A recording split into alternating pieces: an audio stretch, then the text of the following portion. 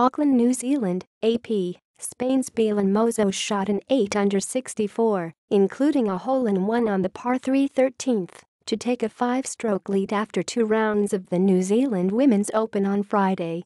Mozo finished strongly with a birdie on the 18th after a double bogey on the 17th, after hitting her tee shot into the water.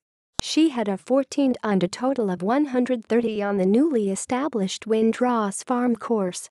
Three golfers shared second place, Emily Tubert of the United States, who shot 65 Friday, Madelene Sagstrom of Sweden, 67, and Canada's Brooke Henderson, the co-leader after the first round who had a 70 Friday.